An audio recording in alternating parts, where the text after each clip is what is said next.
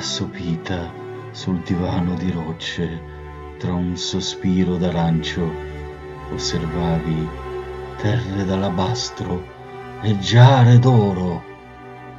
Nel tappeto d'alpaca avvolgevi un passato mai trascorso, trascorrendo il tempo sotto i cerchi del rosso morire, figlie di inesistenti maree si sostituivano ai toni bruni, prendendo per mano una luce spenta.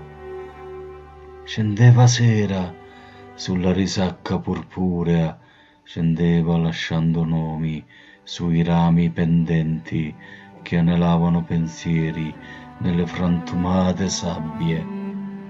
Eri lì, immobile, nel tuo correre oltre le barriere, eri lì per fatue promesse, eri lì per essere parte d'un dipinto vuoto.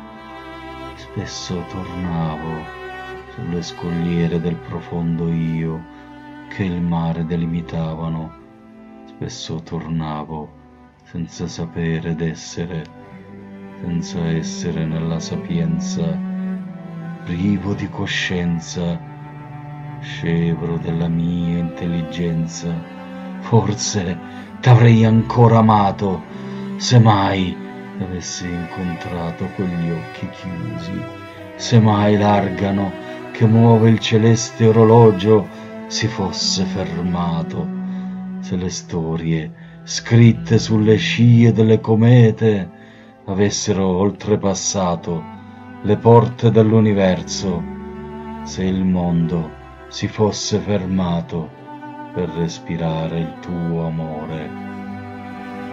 Eppure di te riuscivo a scorgere un'inerme tela ombreggiata da neri pastelli spezzati, eppure potevo sfiorare il tuo viso, ascoltare il canto dei tuoi sogni, ascoltare il lamento delle stelle, ascoltare quello che nessuno poteva. Ero lì insieme a te nell'estasi del dolore, insieme ancora una sola volta, noi che insieme non eravamo mai esistiti.